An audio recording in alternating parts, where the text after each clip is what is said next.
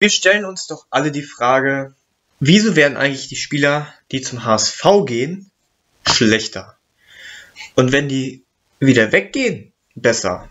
Ein paar Beispiele. Gregoritsch in Augsburg. Jonathan Tah, Leverkusen. Genauso wie Son. Und hier Demi bei, bei Hoffenheim. Wieso ist das eigentlich so? Ganz klar. Weil es wird einfach immer fast jedes Jahr die Führungskräfte ausgetauscht. Also sprich Sportdirektor, Trainer, das zum Beispiel. Und das bringt einfach die Unruhe im kompletten Spielsystem, Taktik, Umfeld, Atmosphäre.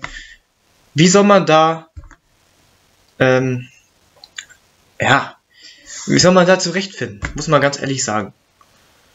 Ähm, also ich denke mal, dass es so das Problem ist. Finde ich selber schade. Jetzt auch morgen HSV gegen Köln wird mit Markus Gistol höchstwahrscheinlich entlassen werden, falls der HSV verlieren sollte.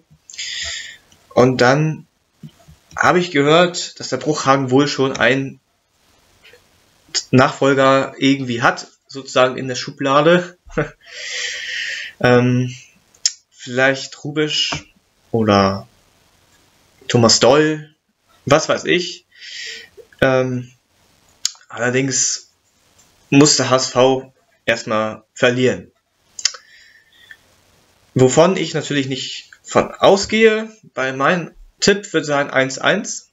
Schreibt eure Tipps auch mal wieder in die Kommentare, würde mich sehr freuen.